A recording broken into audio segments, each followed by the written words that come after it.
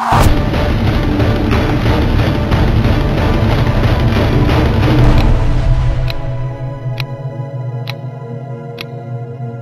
müzakirə saatında xoş gördük hər birinizi. Sizinlə mən Elçin Rəhimzadə və verilişimizin bugünkü qonağı Azərbaycan Demokrat Partiyasının sədri Sərdar Cəlaloğludur. Sərdar bəylə ölkə gündəmini müzakirə edəcəyik. Sərdar bəy, xoş gəlmisiniz. Sağ olun, təşəkkür edirəm. Sərdar bəy, dünənləri e, iqtidar və bəzi müxalifət partiyalarının e, iştirakı ilə dəyirmi masa keçirildi və e, hətta dəyirmi masada sizin Əli Əhmədovla mübahisəniz də oldu, kiçik də olsa. Ümumiyyətlə bu dəyirmi masadan e, gözləntilər nə idi? Bəyəndinizmi bu tədbiri ümumiyyətlə? Əvvəl deyim ki, bu dünənki tədbirin predmeti, müzakirə çıxarılan məsələ o qədər ciddi, o qədər aktual və o qədər hər bir Azərbaycan vətəndaşının taleyi ilə bağlı bir məsələ idi ki, mən o məsələ, o tədbirin keçirilməsini çox yüksək qiymətləndirirəm bu baxımdan.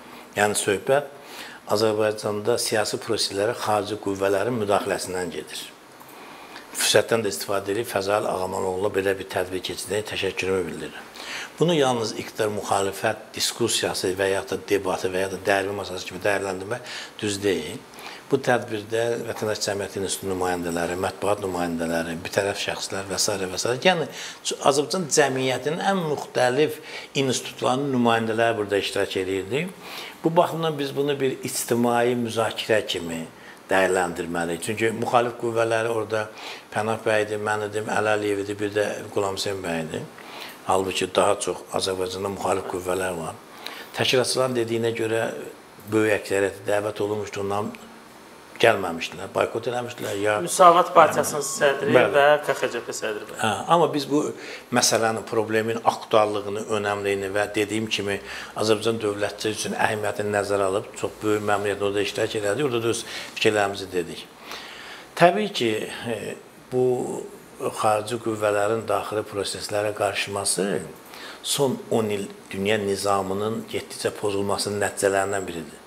İkinci Dünya müharibəsindən sonra formalaşmış Birləşmiş Millətlər Təşkilatı iki qütblü dünyada bütün prosesləri beynəlxalq hüquq çərçivəsində həll etmə imkanına malik idi. Ona görə də həmin dövrlərdə e, dövlətlər açıq şəkildə, kobud şəkildə başqa dövlətlərin daxili işlərinə qarışa bilməzdilər. Çünki niyə? Birləşmiş Millətlər Təşkilatının təhlükəsiz prinsiplərindən biri daxili işlərə qarışmamaqdır. Amma e, bilirsiniz ki, sosializm cəbhəsi məğlub olandan sonra SSR dağılandan sonra dünya bir qütblü dünyaya doğru meylləməyə başladı və beynəlxalq hüquq buna görə həm mahiyyət etibarı iki qütblü dünyaya aid olan bir qanunlar sistemi bir qütblü dünyada işləyə bilməz və köhnəldiyinə görə siyasi reallığa uyğun gəlmədən özünün gücünü itirdi və beləliklə dövlətlər bir-birinin daxilizlərinə açıq şəkildə qarışmağa başladı. Məsələn, Səudi Ərəbistanı Yəməni bombalayır. Bəşir Əsəd Rusiyanı çağırır köməyə. Tutaq ki, oradan İraqa girirlər, buradan ora girirlər və beləliklə biz görürük ki, son 10-15 il ərzində xarici qüvvələrin daxili proses, siyasi proseslərə qarışması bir ənənə hal alıb və ən vacibi də nədir? Bu müdaxilələr həmin dövlətlərin və xalqların məhvinə gətirib çıxarıb. Təhlükə budur. Əgər bu müdaxilə ən azı qarşı duran tərəflər arasında həmrəyliyə, razılığa gətirib çıxarsaydı, o dövlətlərin möhkəmlənməsinə gətirib çıxarsaydı, o cəmiyyətlərin təhlükəsinə gətirib çıxarsaydı, biz bunu alqışlamalıydıq. Amma çox təəssüf ki, kim tərəfindən bu müdaxilənin edilməsindən asılı olmayaraq, müstəqil dövlətlərdə daxili siyasi proseslərə xarici qüvvələrin müdaxiləsi həmin dövlətin, həm qarşı duran tərəflərin maraqlarına zidd nəticə gətirib çıxarıb, həm də bütünlükdə xalqın və dövlətin məhv olmasına gətirib çıxarıb. Bu da Azərbaycanda bu gün qaldırmış bu məsələnin bizim üçün tale yüklü bir məsələ olduğunun dəlilidir, yəni praktiki dəlilidir. AXCP-nin və realın ora dəvət olunmaması sizcə hansı səbəbdən idi? Məncə e, əgər biz təşkilatçıların e, e, gündəmə çıxartdığı məsələ kontekstindən yanaşsaq, ora kimlər dəvət olunmalıdır? Ora açıq şəkildə xarici qüvvələrin Azərbaycan daxili proseslərinə qarışmasında maraq olan qüvvələr. Yəni burada söhbət o qüvvələrin e, əməkdaşlığından gedə bilər ki, onlar xarici qüvvələrin Azərbaycan daxili işlərinə qarışmasını istəmir. Kimlər ki istəyir və ya da bu istiqamətdə e, hansısa bir fəaliyyətləri varsa, onlar e, ora cəlb edə bilməz. İkinci səbəb o ola bilər ki, o qüvvələr ora dəvət olunmayıb ki, o qüvvələrin tutaq ki, mövqeyi e, tutaq ki, həmin tədbirdə müzakirə olunan predmet nə yox, daha çox iqtidarın fəaliyyəti ilə bağlı olacaqdır deyən, e, tutaq ki, onu nəzərə alıb dəvət eləmir. Başqa üçüncü bir səbəb mən görmürəm.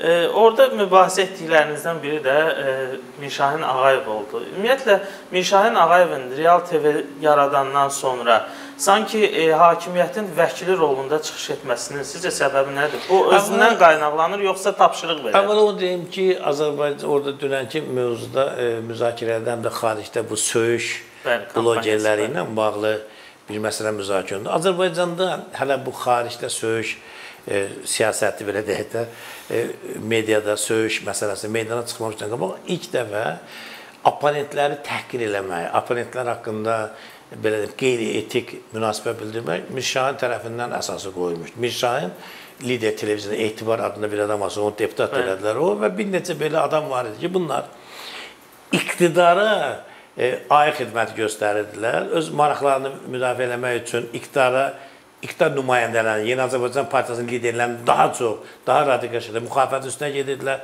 təhqir edirdilər, alçaldırdılar. Bunların da başında duran adamdan biri Mirşahin idi. Təbii ki, Mirşahin aynəs bağlanandan sonra və təzədən Real TV-nin açılması iqtidarla müəyyən bir danışıqlar hesabına e, olmalı idi. Onsuz da Mirşahin e, demək olar ki, 1992-ci bu tərəfə həmişə hökumətlərin yanında olub.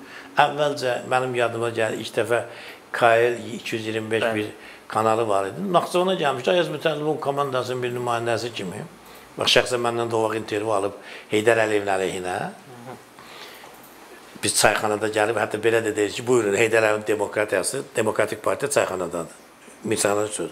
Sonra başqa adamlar gəldi hakimiyyətə, Əfsəz Elçi bəy onun yanında yer tutdu. Sonra gəldi Heydər Əliyev. Həmişə hakimiyyətin yanında durmaq, hakimiyyətdən bəhrələmək bir cəhd edən bir adamdır. Və çox təəssüf ki, Azərbaycan mətbuatında Mirşənin qədər ziyanlı iş aparan ikinci bir adam yoxdur. Bunun ziyanlılığı onun nə ağlı ilə, gücü ilə bağlı deyil. Bu bizneslə mətbuatını birləşdirə bilib və faktiki olaraq e, hakimiyyətin ona e, belə deyim göstərdiyi diqqət müqabilində bundan sui-istifadə edir və dünən də arada bir dedi ki, mən Əli Əhmədovun şəxsən bəzi məsələdən bağlı ikilikdə danışır. Yəni başqa media nümayəndələrinə deyir ki, sizdən fərqli olar, mən hökumətlə şəxsən iki tərəfi danışa bilirəm. Və bunun gəlib burada tutaq ki, bu məsələ ilə bağlı fikir müzakirə etdirməsi, düzün sözü mən məqsədə müvafiq hesab eləmədim. Xüsusən bilirsiniz, orada belə bir fikir işlədi ki, Azərbaycanda söyüş müxalifəti Cəlal Əliyevin, akademik Cəlal Əliyevin e, yolunu davam elətdirir. Əvvəla birincisi bilirsiniz, bir məşhur fransız filosof var, Menandr, onun bir gözəl sözü var. Deyir, ölülər haqqında ya yaxşı danış, ya sus. Çünki niyə onlar Allahın məhkəməsindədir. Allah bilər, onlar bilər. Bunlar diri deyil ki, sən bunu mühakimə edirsən. Ölünün dalından danışmaq nə deməkdir? Elə belə cəsarət edin, sağ olanda deyərdin, değil mi? İkincisi, İlham Əliyevin Cəlal Əliyevə münasibətindən asılı olmayaraq, prezidentin əmisidir. Biz burada prezidentin də ailəsinin söyülməsini pislədiyimiz bir vaxtda sən bunun əmsini aparıb qarşıdakı söyüşçülərlə bir yerə tutursan və orada ən əsas mənim Mişanın çıxışında bir məqam daha doğrusu müdaxilə edim. O da belə bir fikir işlətdi ki, bizə dövlət müstəqilliyi lazımdır, bizə e, insanların müstəqilliyi lazımdır. Bu da bilirsiniz də totalitarizmin e, siyasi formulovkasıdır.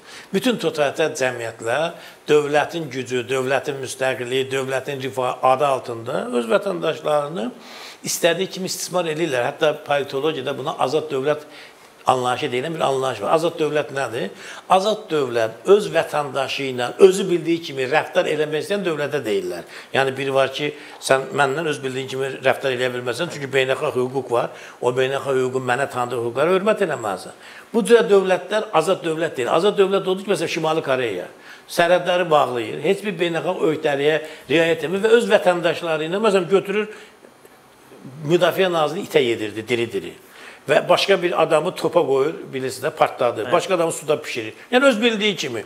Buna azad dövlət deyirlər və Mir, Mir Şahin də orada məhz bu azad dövlətin tərəfdarı kimi çıxış edir. Mən replika atdım ki, burada biz əgər xarici dövlətin bura müdaxiləsindən danışırıq, bu müdaxilənin əsas səbəblərindən biri Azərbaycan insan hüquq azadlıqlarının pozulması olduğu, olduğuna görə burada əgər biz təzədən deyirik ki, vətəndaşların müstəqilliyi bizə lazım deyil. Onda sən nəyə görə xaricdəki söz söyənlərin əleyhinə danışa bilirsən? Bu onların burada müstəqillik deyirsən ki, qısa konkret bunların müstəqilliyi lazım deyil. Bizə ancaq dövlət müstəqilliyi lazım.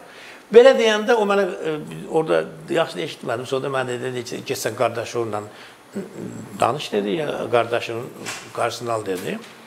Mən orada Cəlal Əliyevə bir rəhmət oxudum. Həm elə həqiqətən də bir alim kimi, həm də neçə dəfə deputat olub, həm də prezidentin əmizi kimi. Bir rəhmət oxudum. Bununla da o bizim debatımız başa çatdı. Mirşahinin fəaliyyəti ilə bağlı son günlər Cəlal Əliyev və rəhmət oxuyanlarda çoxalıb. Bilirsinizmi, bu Cəlal Əliyev əksinə baxsan o vaxtı, bilirsiniz də, o Mirşahınla bağlı Cəlal Əliyevin o vaxtki mövqeyi, baxmayaraq ki, Heydər Əliyev Mirşahını həddən az çox dəstəkləyirdi, çox böyük onlara e, maliyyə dəstəyi verdilər, hər cürə şərait yaratmışlar, hətta dövlət televiziyasına verilməyən bilgilər Mirşahına verilir. Süni surətdə Mirşahin Azərbaycanda dövlət televiziyasından da yüksək stat zamanı bir stat salmışdı. Təbii ki, bütün Azərbaycan məmurları da bunu görürdülər. Mirşahinin Heydər Əliyevin yanında olan mövqeyini bilirdilər və Mirşahinin hətta bir nöqsanı olanda, qüsuru olanda ağızdan bir kəmə söz deyə bilmirdilər. Nə dövlət orqanı, nə müxalifət. Çünki əlində bir televiziya var, çatana çatmır, çatmayanda da bir nətə təbii atırdı. İlk dəfə Cəlal Əliyev Heydər Əliyevin mövqeyinə zidd net bir şəkildə mövqe qurdu və Mişanın doğrudan da heç də azad mətbuatın nümayəndəsi olmadığını, əlində olan imkanlardan şəxsi maraqları məqsəd istifadə etdiyini ortalığa qoydu. Ona görə indi də hamı görür ki, bu adam sən mətbuat işçisisən. Deyir ki, baxın bunu bilin. Deyir ki, mən xaricdəki söyüş söyənlər deyirəm ki, siz məni söyün, siz prezidenti söyün, mən və mən də sizə cavab verəcəm. Əvvəla biz ümumiyyətlə sözün əleyhinə çıxmalı. Ya Mişanı söysünlər, ya İlham Əliyevi söysün, ya Sədr Cavunu söysün. Biz ümumiyyətlə sözün əleyhinə çıxmalıyıq. Yoxsa filan kəsi söymən məni söyün, mən də sizə cavab və başlayır o blogerləri söyməyə, bu başlayır söyməyə və nəticədə özü də Bu qardaşım, sən bunu sözü inkişaf elətdirirsən də bizə söyüşün kökün kəsmək lazımdır. Siyasi ritorikadan söyüşdür, lənətdir. Bu kimi e, qeyri-qanuni, qeyri-əxlaqi, milli mentalitetə zidd olan dəyərləri çıxartmaq lazımdır. Sən əksinə deyirsən ki, hökumət isə mən məzun, mən sizə yaxşı cavab verəcəm. Çünki Real TV e, belə deyim, mən heç baxmıram ona. Deyilə belə bir açıb tərəzi televiziya açıb. E, orada açı saatlarla başlayır söz söyməyə, təhqir eləməyə, alçatmağa və s. və s. Sən kimsən? Sən kimsən? Adamı deyirlər də. Azərbaycan konstitusiya və qanunları gəlir, gəlir, real televiziyasının binasının qabağında dayanır, gücünü itirir. Sən də qanun qarşısında bərabərsən. Sən də qanun qarşısında cavab edəsən. Vətəndaşların şərəf və ləyaqətinin qorunması sənin də vəzifəndir. Mətbuat haqqında qanun var. Sən mətbuatdan başqa məqsədlə istifadə edə bilməzsən. Mət, sən mətbuat üçün başqa fəaliyyətlə məşğul, biznesin var, zavodun var, fabrikin var. Sən kimsən ki? Bu baxımdan mən belə hesab edirəm ki, bəzi adamlar iqtidara yarınmaqla işini çıxardırlar. Lenin bir məşhur sözü var, qeyri-ruslar bəzən rus olmaqda işini çıxardırlar. O da nə ilə bağlı idi? Ancaq sizə göndərmişlər ki, get gücü kommunistlərini başa sal ki, SSR-in tərkibinə daxil olsunlar. Onlar daxil olmaq istəyirdilər. İstəmirdilər. Kimi göndərdilər, onlar dedi biz daxil olmuruq. Sonra axırda dedi sən gürcüsən, get ondan başlasan. Gəlir Gürcüstan Kommunist Partiyası 1920-ci il olan hadisədir. Gürcüstan Kommunist Partiyasından deyir ki, daxil olun Sovet hökumətinə. O da Gürcü, bu da Gürcü. O da deyir biz daxil olmuruq, biz müstəqillik istəyirik. Onda Arcanikizdə durur, bir dənə şillə vurur bu Gürcüstan Kommunist Partiyasının birinci katibinə. Orada Leylin, o hadisə Leylinə çatdı, deyir mütləq Azərbaycan məsələsi qoyulmalıdır partiya e, nəzarət təftiş komissiyasında. Və o sözü deyir ki, bəzi qeyri-ruslar rus olmaqda işini çıxardılar. İndi Azərbaycanda təcrübədə burada bir e, Ərzuman adında bir dediyim kimi adam var. Deyir ki, məsələ nədir? Xarici qüvvələrin Azərbaycana müdaxiləsinin yol verilməzliyi mövzusudur. Deyir ki, icazə verin mən Azərbaycanda istənilən siyasi liderinə alternativ olum seçilir. Onun hamısını udacağam. Qardaşım, bu xarici müdaxilənin parlament seçkilərində sənin deputat olmanın nə? Yəni fürsətdir. Hər kəs çalışır ki, orada daha çox iqtidar nümayəndəsi kimi göz Əli Əhmədov oturub orada özlərini Əli Əhmədova baha qiymətə satmaq istəyirlər. Bu yanlış bir davranışdır. Lap Mirşahin olsun, ya kim olur olsun. Əvvəl orada Cəlal Əliyevin adını çəkməkdə çox böyük səhv elədi. Çünki niyə? Söhbət prezidentin ailəsinin şərəf və ləyaqəti qorunmasından gedirsə, Cəlal Əliyev də onun ailəsidir. Bibiləri də onun ailəsidir, bacıları da və s. və s. Mən Cəlal Əliyevi göylərə qaldırıb demirəm, müqəddəs bir adamdır. Amma qoyulub məsələ ki, prezidentin ailəsi özdə belə də deyilir də, çünki qanunda da var, prezidentin şərəf və ləyaqətinin xüsusi qanun var.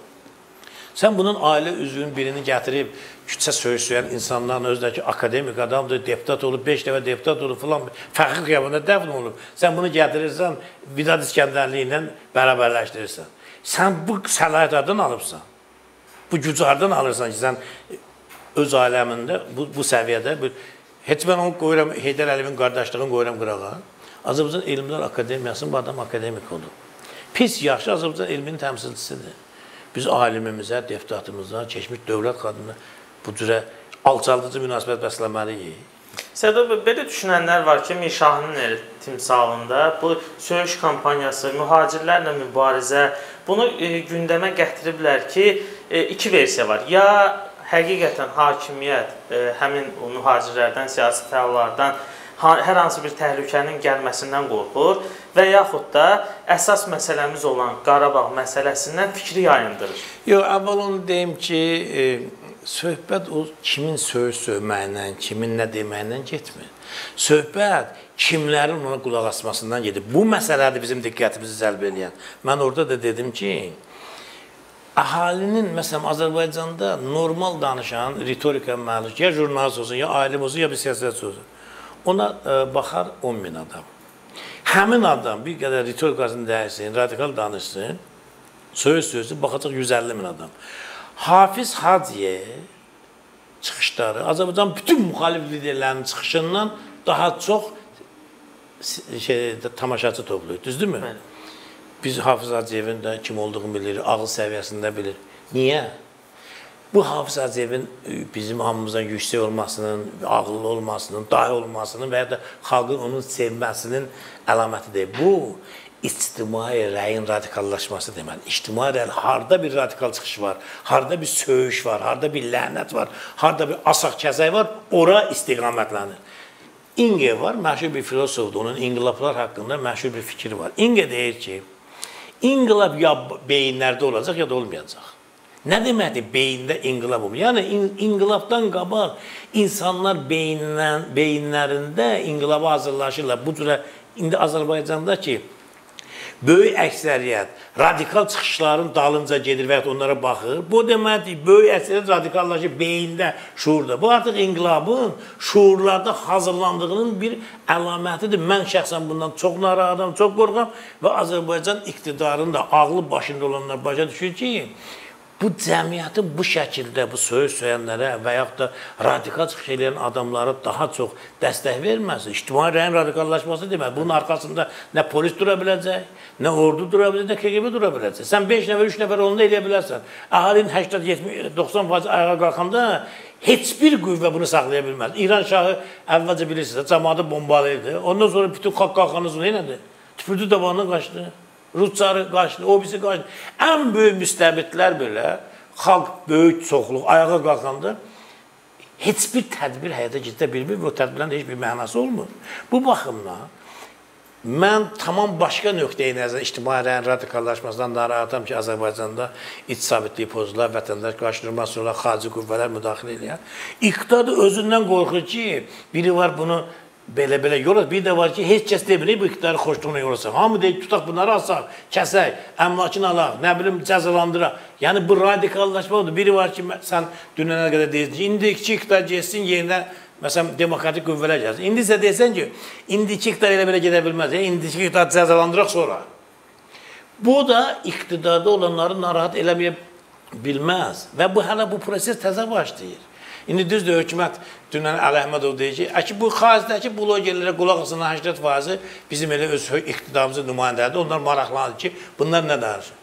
Bax hələ, mən də dedim ki, eləcə deyin qulaq asmasınlar, 10, 10 nəfər baxsınlar, bilinsin ki, bunlar kes deyirlər. Bu nə demək sözdür? Etiraf edir ki, həqiqətən də elə də, etiraf edir ki, əslində bolsa bu xaricdə söyüş söyənləri hökumət daha, nümayəndələr daha çox aşağı və orta məmurlar daha çox izləyir. Çünki niyə? Onlar müəyyən məqamdan sonra yuxarı elita müdafiə eləməyəcəklər. Baxırlar ki, hələ prosesdə hardadır. Ona görə gecə-gündüz biləsən, orta və aşağı səviyyəli məmurlar o xarici blogerlərin çıxışlarını əzbərləyirlər. Diqqət qulaq, böyük nədir də sabah gəlirlər, gəlmirlər. Prosesdə necə olacaq ki, iqtidara olan münasibətlərini müəyyənləşdirsinlər. Bunu Əli Əhmədov yaxşı bir iş kimi başa düşür. Deyir bizimkilər də baxın. Əlbəttə sizinkilərdir. Sizinkilər ona görə baxmır, oradan dərs öyrənsin. Sizinkilər ona görə sizinkilər ora baxır görür nə vaxt bu iqtidar sonu gələcək ki, tübürsünlə dabanında qaçsınlar iqtidarın ətrafından. Fikrimcədə elitanın ətrafından çəkilsinlər. İnqilablar belə olur da. Məsələn, oktyabr inqilabında, İran inqilabında əgər məmurlar keçməsə İranda aviasiya keçdi, Xameneyin də birinci aviasiya keçdi, sonra digər qoşun növləri keçdi. E, eləcə də e, Rusiyada inqilab olanda orta və aşağı məmurlar hamısı dərhal keçdi bolşeviklərin tərəfinə.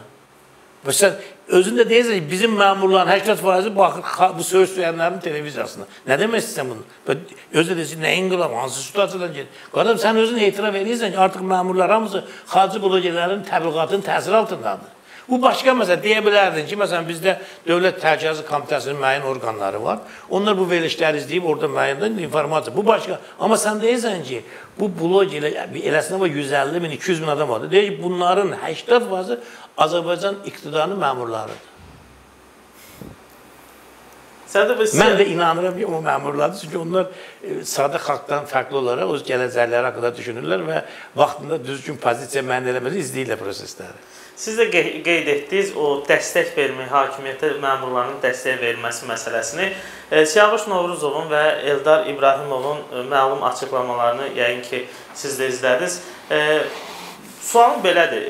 Yəni hakimiyyət bu, bu qədərmi gücsüzləşib ki, keçmiş sabiq məmurlardan, sabiq nazirlərdən ortalığa çıxıb o açıqlama verməsini, dəstək olmasını, onlara qarşı e, tənqid edənlərə cavab verməsini istəyir. Yəni ki, e, bunu hansı formada? Dasiya da qoyur ki, hələ bir şantaj da edir ki, yəni dasiyeniz burada. Vaxtilə Leylinin bir məşhur sözü vardı. Leylin bilirsiniz, sosial inqilab nəzəriyyəsinin banisi idi. O vaxtda da mənim kimi inqilab əleyhinə olan insanlar vardı. Leylin o inqilab əleyhinə olanlara belə bir söz deyirdi ki, proletariat inqilabda yalnız zəncirini itirəcək. Əgər proletariat e, inqilabda zəncirini itirəcəksə, onda qeyri-proletar nəyini itirəcək? Varını, yoxunu, sərvətini və canını. Rus çarı nə oldu? O polimelti oğlunu da, Talesemiyalı oğlunu da güllələdilər, qızlarını da güllələdilər. Nəslini də kəsdilər, milyardlarını tutdular, aldılar. Rusiyadakı zadəganların, varlı adamların, ziyalıların, hökuməti dəstəkli adamların yuxarı təbəqələr hamısını ya sürgün elədilər, ya qaçdılar, ya da bütün var yoxlar getdi, ya da öldürdülər. Ona görə də dövlət məmurları iqtidarı o zaman müdafiə edirlər ki, arxaindirlər ki, xalqdan tə gələn təhlükə yoxdur. Elə ki, xalqdan gələn təhlükə reallaşır, dövlət məmurları uğurladıqlarını sahib çıxmaq üçün, ən azı gələcəklərini təmin etmək üçün açıq şəkildə iqtidarın müdafiəsinə qalxmırlar. Baxın, İlham Əliyevin əvvəlki illərdəki müdafiəçilərə baxın, adların sayını sizə istəyirsiniz. İndi, indi İlham Əliyev, onun ailəsi bu qədər söylü təkrir onu, bir ya iki adam müdafiə edir, o da necə, çox zəif. Amma əvvəllər İlham Əliyev təzə gələndə hakimiyyətə neftdən gələn gəlirlər ki, sel kimi gəlirdi. Dəxli oldu olmadı. Millət vəkili, məmur, məmurun arvadı, qohumu, qardaşı, nazirin əmisi oğlu, hamımızı gecə gündüz mətbuatda İlham Əliyevi müdafiə edirlər. Niyə? Çünki arxain idilər ki, rejim var, bu rejimdən bəhrələnirlər. Amma indi ki, bir təhdid var rejimin mövcudluğuna, Ondan bizdən daha yaxşı bilir ki, ölkədə vəziyyət nətərdir. Öz gələcəklərini qarant altına almaq naminə iqtidar müdafiə açıq şeydə müdafiə eləmirlər. Baxın, Siyavuş Novruzov nə deyir? Deyir, bizim özümüzün özümüzü müdafiə etməyə gücümüz çatar. Amma biz deyək ki, siz də gəl bizi müdafiə edin. Əvvəla, əgər sizin özünüzü müdafiə etmə gücünüz çatsa, o müdafiəni qoyun ortalığa. Yoxdur. Belə bir müdafiə zad yoxdur. İkincisi, Azərbaycan iqtidarında elə dərin parçalanma var ki, müxalifətdən daha çox iqtidar daxilində qüvvələr hakimiyyətə fəaliyyəti hakimiyyətə təhlükə yaradır. Məsələn, digər deputatların atışması. Biri çıxır deyir ki, biz müxalifətdə olan bəzi satqınlara, xarici dövlətlərə işləyənlərə mandat verdik. Gəldi iqtidar onlara milyonlar sahib elədi. Eldar İbrahimovun açıqlaması. Eldar İbrahimov. Amma onlar yenə də öz xəyanətlərində. Yəni xarici dövlətlər satqından da bunu. Dərhal Qudret Həsənquliyev çıxır deyir ki, hələ bu Eldar Mahmudovun məhkəməsi başa çatmayıb. Nə dil uzadırsan? Yəni o proses genişlənə bilər və Eldar e, İbrahimov da, başqaları da gedər Çovdarovla bir yerdə durar məhkəmə qarşısında. Dərhal Eldar İbrahimov atır arxa skorusa sürətə deyir ki, mən o demirəm. Mən başqa adamlar deyirəm. Qadın sən kimə mandat verib, kimə millətlə qazanır, hamı bilir ki, mandatı verdiyin adamlar parlamentdə kimdir? O milyonlar da kimindir, hamı bilir. Bir şalvarı, bir köynəyi olan adamın bu gün əgər 100 dənə evi, eşiyi, nə bilim, dükanı, bazarı, telexranı, o bu, bu varsa, sən mənə deyə bilməzsən ki, kimə mandat verdi, o deyirsən də. Mandat verdiyin adamlar da siyasi məlumdur da. Yəni söhbət nədən gedir? Söhbət ondan gedir ki, Azərbaycan iqtidarında həm də bu cür ciddi qarşılıq durma olduğuna görə məmurların böyük hissəsi iqtidarı müdafiə etməkdə maraqlı deyil, əksinə onlar da tutaq ki, iqtidarından narazı qalan, amma bu gün hakimiyyətdə olan qüvvələr ki var, onlar da iqtidarın zəifləməsi üçün öz maraqlarını daha üstün tərəf üçün daha çox hücum edilməsinə cəhd edirlər və xarici blogerlərin biləsiniz informasiya dəstəyi Azərbaycan iqtidarıdır. İnformasiya dəstəyi.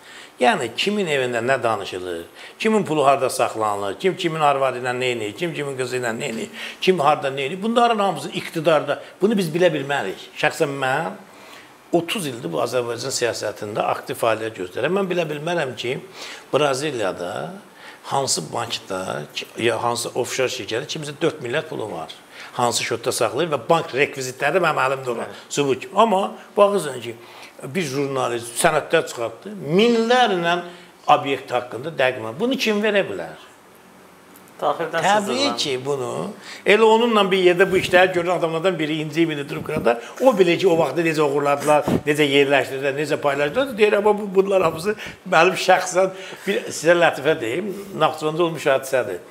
E, deməli o vaxtı Sovet hökumətinin vaxtında təcili tibbi yardım stansiyasının həkimi bir dostu ilə gedib yeyib içməyə, günorta çörəyimə. Dost dedi ki, biz konyak içək. Oturublar baş qızışıb çox içiblər.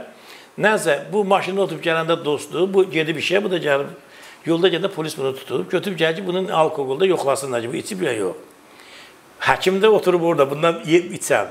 Həkimə deyiblər ki, biz bir nəfər tutmuşuq. Gəlin baxın görün sərxoş deyil. Gəlib uzaqdan baxır ki, bayaq bundan oturub yeyəcək dostudur. Elə uzaqdan deyib ki, içib içib özə konyak içib. Çünki bunlar içib baxır. İndi də bu xarici blogerlərə verilən məlumatlar var. Bu həmin onlarla bir də bir yerdə bu cinayəti edən adamlar da verirlər. Bu da çox təhlükəli bir məsələdir. Mən bir dəfə demişəm, bir də deyirəm yararı olsun.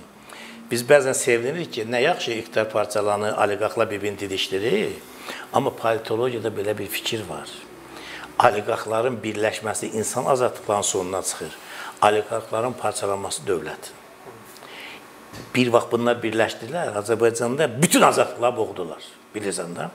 mətbuatı məhv elədilər, həmkarlar hərəkatını məhv elədilər, qeyri-dövlət təşkilatdan sıradan çıxartdılar, siyasi partiyaların fəaliyyətini məhdudlaşdırdılar, ayrı-ayrı aktivistləri ölkədən getməyə məcbur elədi. Oliqarxlar elədi. Evet cinayət dəstələrdən qruplar düzəltdilər, nə bilim, min cürə e, konstitusiya və qanuna zidd cinayətlər elədilər. Cəmaətin başında it oynaşdılar. İndi isə oliqarxların parçalanması mərhələsidir. Bu artıq Azərbaycan dövlətinin sonuna gətirib çıxara bilər və xarici qüvvələrin müdaxiləsi məsələsi də buna görə aktualdır. Çünki oliqarxlar parçalanır, oliqarxların parçalanması dövlətin sonuna gətirib çıxara bilər, dövlətin sonu isə xarici qüvvələrin müdaxiləsi deməkdir. Kim çatır nə demək istəyir? Yəni bir də qayıdıram o məsələnin aktuallığına ki, Azərbaycanda oliqarxların parçalanması dünən müzakirə çıxarılan məsələnin olduqca aktual olduğunu, olduqca Azərbaycan üçün real və təhlükəli perspektiv vəd etdiyindən xəbər verir. Sərdar bəy, bu günlərdə e, verilişimizin qonağı olan e, Gələcək Azərbaycan Partiyasının sədri Alasif Şakiroğlu belə bir açıqlama verdi ki, müxalifət daxilində İlham Əliyevin hakimiyyətdən getməsinə getməsi üçün hətta ə, Azərbaycanın müstəmləkə olmasına razı olan şəxslər var və bu günlərdə onlar yeni bir siyasi qurumla ortalığa çıxacaq. Onun bu ə, bəyanatını açıqlama açıqlamasını ciddiyə almaq olarmı? Təbii ki, ciddiyə almaq olmaz. Çünki onun özünü mən açırım. Cavan oğlandır, siyasətə təzə gəlib, bu cürə bəyanatlar vermək adama deyirlər ki, sən bilirsən ki, xarici qüvvələrə işləyən Azərbaycanda siyasi qüvvələr və hətta Azərbaycan müstəqilliyinin əleyhinə belə xeyirli Dövlət Təhlükəsizlik Komitəsində burada məlumat vermirsən, prokurora məlumat vermirsən. Ən azı indidən adlarını demirsən ki, cəmaət bilsin də bununla bir araya gələndə bilsin ki, bunlar nəyə gəlir? Bu bir. İkincisi, Bu Azərbaycan indi yalnız bir hansı dövlətin maraq dairəsində, elə kim istədi Rusiya məsələn çırmansın gəlsin Azərbaycanda öz bildiyini eləsin. Bu elə bir oyuncaq da Suriya göstərdi ki, e, belə hətta sərhədlərindən 1000 kilometr aralıda olan dövlətlərin də maraqları var. O maraqlar onda da əskərlərini də qurban verməyə hazırdır. Gəldi töydü, Amerika silah töydü, Almaniya, Fransa, Rusiya, İran, Türkiyə. Yəni bu elə belə Şakiroğlu'nun dediyi kimi xarici dövlət qəbul belə bir oyun deyil. Bu baxımdan bu cür bəyanatlar yanlış bəyanatlardır. Çünki niyə? Ad çəkmirsənsə konkret olaraq, sən indi e, Pənah bəy, Etibar bəy vəzirlər birləşdi bir birlik yaratdı. Sən belə bir söz deyəndə onda yaranan birlik budur, şübhə olur ki, yəqin bu birlikdir.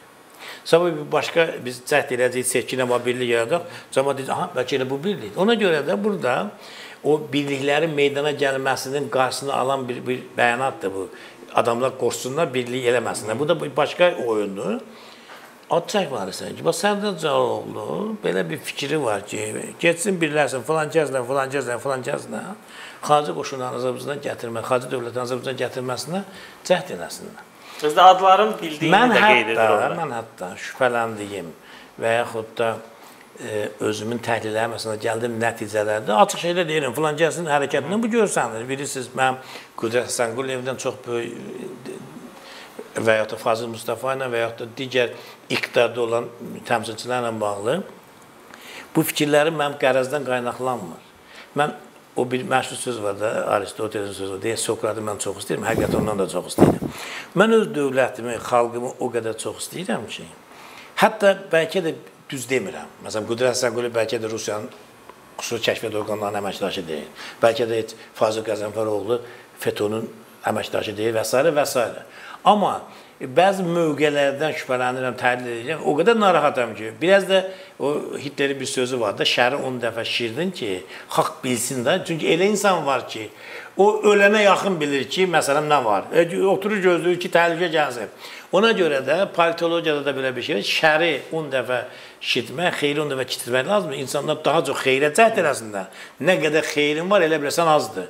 Amma az bir şərin varsa düşünərsən ki, böyük bir şərdir, ona qarşı da müqavimət göstərərsən. Və mən bunu deyirəm. Amma indi ağası bəy çıxıb burada deyirsə, cavan bir oğlan ki, belə bir plan var, belə olacaq, belə olacaq. Get Dövlət Təhlükəsizlik Komitəsinə məlumat ver. Çünki o birlik yaranandan sonra o Rus qoşunu, o kimdirsə Azərbaycana gəlib Azərbaycan dövlətini belə deyim, müstəmləkə halına salandan sonra gec olacaq. Sən bilirsən ki, kimsə Azərbaycanı müstəmləkə halına salmaq istəyir.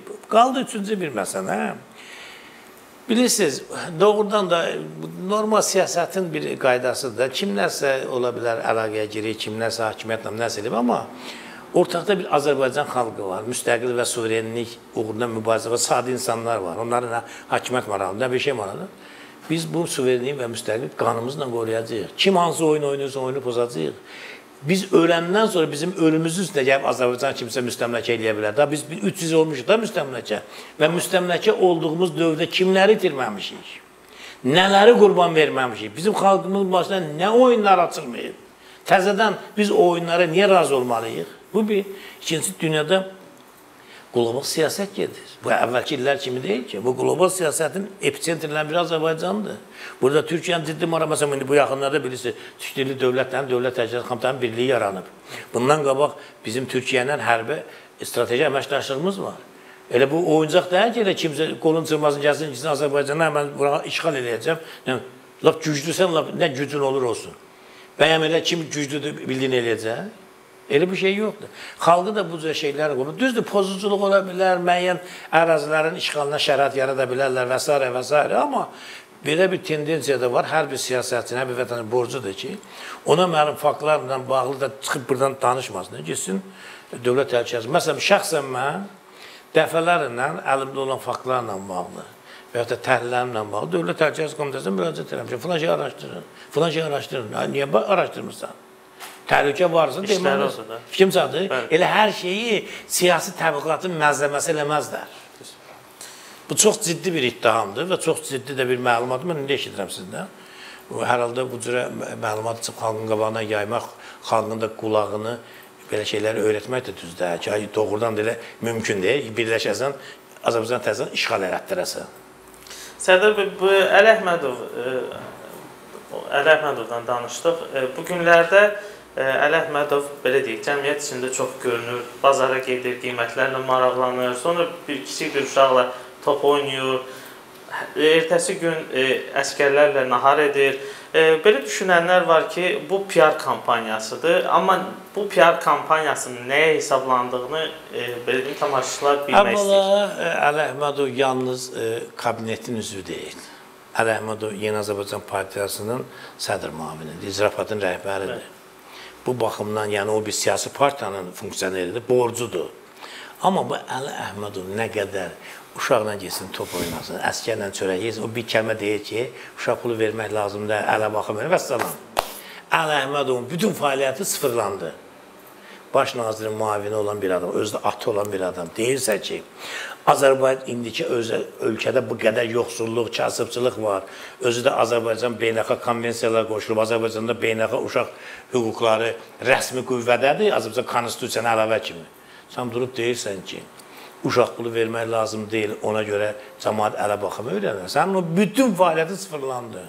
Sən deməli Azərbaycan xalqının marağı müdafiə edən adam deyilsən. Başqa birisi nə deyir? Siyavuş Novruzov. Deyir ki, onsuz da bizim xalqımız öz kodunu artır da əlavə pul verib niyə xalq artırmalıyıq ki? Baxın. Hədəf nədir? Azərbaycan xalqının artımı məsələsi. Bütün dünyada əhalisi çox olanda, az olanda, bir də Çində məhdudlaşdırmışdılar iki uşağına. Çin üç, üçüncü uşağı icazə verdi. Bəli. Azərbaycanda ailələrin 90%-də iki uşaqdan artıq uşaq yoxdur faktiki olaraq Azərbaycanda mənfi artım var. Bunun əsas səbəblərindən də biri Azərbaycanda uşaqların saxlanmasındakı problemlər, iqtisadi problemlərdir. Azərbaycan dövləti əgər Əli Əhmədov gedib o əskərlə çörək yeyirsə, o əs gələcək əskərin isə uşaq pulunu vermir ki, o da böyüsün. Bilirsiniz, bu uşaq pulu nə üçün lazımdır? Əsas məsələ budur ki, insanlar bu uşaq pulunu başa, nə uşaq pulunu istəyənlər bilir ki, uşaq pulu nəyə lazımdır. Nə də uşaq pulunu vermək istəməyən bilmir ki, niyə vermək lazımdır. Məsələ burasındadır ki, uşaq hüquqları nəzərdə tutuyor uşaqlar özlərinin sosial-iqtisadi vəziyyətinə görə nə bir başqa şəxslə, nə də valideynlərlə asılı olmamalıdır. Çünki niyə? Köləlik necə yaranır? Məsələn, mənim uşağım hər şeyinə görə məndən asılıdır. Mən bunu yedirdirəm, mən geydirirəm, paltarı mən verirəm, mən oxuduram. Bu axıda instituta gəlir, deyir, dədə mən nə edeyim? Deyirəm, öl, öl, qol, qol. Amma o uşağın saxlanması, böyüməsini dövlət öz üzərinə götürəndə yalnız ata-ana ilə qovumluq əlaqəsində olur. Və sabah valideyn uşağın hüququnu pozanda və ya da uşaq valideynin zorakılığına məruz qalanda və ya da uşaq əməyindən valideyn istifadə edəndə dövlət gəlir deyir ki, qardaşım, bunu mən böyüdürəm, sən yox. Sən nəyə görə bunu e, qanuna zidd fəaliyyətlərə cəlb? Məsələn, indi biz mətbuatda görürük, ata öz qızı ilə yaşayıb uşaq vaxtından və ya da öz oğlunu hansısa bir cinayətə Bunun səbəbi bilirsənmi nədir? O uşaq əgər dövlət tərəfindən təmin olunur da ki, bu demək deyil, uşaq pulunu ver, atası qoysun, yesin qumar oynasın, yesin araq üçün, versin narkotik maddəyə. Xarici ölkələrdə uşaq pulu verirlər və gəlib uşaq pulun xəstələnməsinə nəzarət edirlər. Baxırlar xaladenikə, baxaq görə uşaq yeməkləri var orada yox, yox. Uşağın paltarlarına var, uşağın neçə dəst paltarı var, verilən pul bunun hər sezona uyğun paltar alınmasına xərclənib ya yox. Uşağın fiziki sağlamlığına baxılır. Bu gündə ət yeyir ya yemir, yağ yeyir, yemir, karbohidratları qəbul edir, meyvə yeyir. Azərbaycanda Elə düşünürlər vətəndaşlar, xüsusən ailə bacı. Elə bilir ki, bu uşaq pulu bunlara verəcəklər. Bunlar da ta, gedib işləməyəcək, elə uşaq pulu hesabına başlanır. Elə şey yoxdur. Bu uşaq pulu o uşaqların normal, sağlam böyüməsinə verməli və dövlət nəzarət eləməlidir ki, o pul doğrudan uşağa çatır. O uşaqlarda yalnız bal da biz azad vətəndaşdan danışa bilərik, azad insandan danışa bilərik. Elə yalnız iqtidarlar kölə vəziyyətə salmır ki, insanları, valideyn də salır, varlı adam, kasıb adamı. Məsələn, politologiyada bir e, Morris var. Onun bir tədqiqatı var. İngiltərə ailələri. Deyir ki, İngiltərədə kasıb ailələrdə ər-arvad arasındakı münasibət kapitalist fəhlə münasibətidir. Necə kapitalist fəhlələri istismar eləmir? İngiltərədə kasıb ailələrdə ərlər arvadlarını istismar edir. Azərbaycanda kasıb ailələrdə Arvadlar da istismar olunur, uşaqlar da istismar olunur. Ən çox uşaqlar istismar olunur. Diləndirəcə vadar edirlər, maşın yuymağa vadar edirlər, çikli işlər görməyə vadar edirlər, ağır işlər görməyə vadar edirlər və hətta uşaq bilirsiniz, uşaq alveri indi geniş yer tapıb. Orqan mafiyası uşaqlardan istifadə, bəzi valideyn və uşağını satır. Bunların qarşısı alınmadı. Bunun qarşısı alınmasının bir şey var. Uşaqların müstəqilliyini təmin etsin, dövlət onları təminat almalıdır. Sən bunu eləmirsənsə, sən vətən xainisən. Sən bu milləti genosid siyasət aparırsan. Birləşmiş Millətlər Təşkilatının genosid haqqında sənədi var. Orada yazır ki, iqtidarların xalqın artımına yönəlmiş ağır sosial iqtisadi siyasəti genosid kimi dəyərləndirilməlidir. Genosid nə deməkdir? Genosid bir xalqı mənsubiyyətinə görə məhv etmək deməkdir. İki cürə məhv. Bir, bu dünyaya gələnləri məhv eləyərsən, bir də bu dünyaya gəlməyə imkan vermirsən. Ən yaxşısı budur. Qoymam gələrsən. Sonra genosid nə deməkdir? Bir çox e, tarixdə də var, dində də var. Yusuf peyğəmbərin e, Musa peyğəmbərin vaxtında Misirdə bütün yəhudların oğlan uşaqlarını öldürüblər.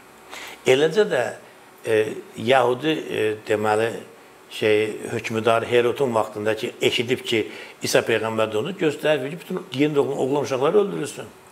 Bir çox tarixdə var ki, Amazon haqqında əhvalat necə yaranıb, o qadın cəmiyyəti haqqında. Kişi qismini öldür və bəzən isə ümumiyyətlə uşaqları öldürməklə məşğul. Həm kişi, həm qadın fərqi yoxdur. Ki, xalq yox olsun, içsin, yesin. Bunu ya siz kiminsə beyninə güllə dayıb öldürərsiniz, asarsınız, kəsərsiniz, ya da ki, dünyaya gəlməsinə imkan verməzsiniz. Ona görə müasir dünyada abortlara 3-cü dünya müharibəsi deyirlər. Hər il 100 milyon qadın abort elətdirir. Bu nə deməkdir? Hər il 100 milyon insan bu dünyaya gəlməmiş məhv edilir. İnsan məhv edilir. Hətta Roma papasının bununla bağlı bəyanatı var idi. Bu bir dünya müharibəsidir. Bu bir total genosiddir. Və bir çox ölkələrdə bilirsiniz, abort qadağan olunur, cinayət hesab olunur. Əgər qadının həyatına təhlükə yoxdur. Azərbaycanda abort bir əyləncə şeyinə çevrilib. Belə kim hansı yaşlarda abortun yaşı var, 3 3 aylıqdan o yüzden abort eləmək olmaz. İndi öz başına ölkədir. Lap 8 aylıq uşaq olsun, onu da abort edilir. Yəni bu vəziyyət aradan qalxmalıdır. Bu bir genosid siyasətidir. Ola bilsin iqtidardakılar bunu düşünülmüş şəkildə eləmir, iqtisadi çətin. Amma ordudan da kəsmək lazım olsa kəsmək lazımdır. Məmurların maaşından, deputatların maaşından, nə bilim bu iqtidara dəstək verən insanların maaşından kəsmək də lazım. Kəsb təcili uşaq pulu fondu yaradılmalıdır. Uşaqlar dövlətin iqtisadi, sosial təminatı altına alınmalıdır. Uşaqların valideynlərdən asılılığı yox edilməlidir və uşaqların normal, sağlam böyüməsi üçün, gələcək sağlam bu gün biz deyirik ki, hansı xəstəxanaya gedirsən, ağzınacan xəstədir. Qardaşım, o uşaq gündə bir dəfə ət yeməlidir. Bir gündə çünki normal, rasional qidalanma var da. Karbohidrat qəbul etməli. Xüsusən karbohidratlar beynin şirin şeylər inkişafı üçün lazımdır. Yağ qəbul etməlidir. Meyvə, vitaminlər qəbul s. Azərbaycanda elə ailə var ki, ayda bir dəfə ət yeyir. Elə ailə var ki, ümumiyyətlə uşağı meyvə yeyir. Bu uşağın vitamin hardan alacaq? Bu uşağın bədəni necə qurulacaq? Mən prezident seçiləndə deyəndə ki, çıxın küçəyə baxın. Azərbaycan oğlanlar, cavan uşaqlar 1 metr 40 santim hamısından qozbeli çıxıb Əli Əhmədov mənə deyir ki, 2 metrlik xüsusi təşkil şey o nədir bizim orada hissəmiz var, xüsusi tənədəsi orada 2 metrdir.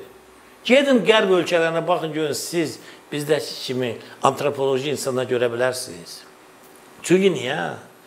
Onları o qədər yüksək şərtlərdə saxlayırlar ki, necə ki bir e, xüsusi şəraitdə bir heyvanı bəsləyərsən kifayət qədər Və o adamlar boyu, buxunu, fiziki sağlamlığı, düşüncəsi, zeyni, təfəkkürü, psixologiyası bizimkilərdən 100 dəfə yüksəkdir.